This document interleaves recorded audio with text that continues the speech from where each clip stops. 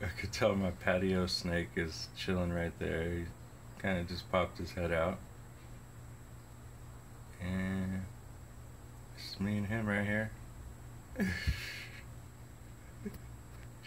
I was gonna show you guys my my blackberry bush. Alright, I'm back up.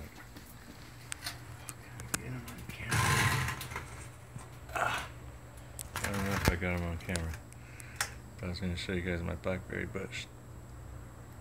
It's a thornless blackberry bush. My brother and his wife gave it to me. No thorns, man. It's actually a dwarf plant. So there's tons of rocks in there, limiting the amount of dirt. And there's rocks on top, limiting the growth. Just trying to make it only grow out of one tiny area. Of my snake, man.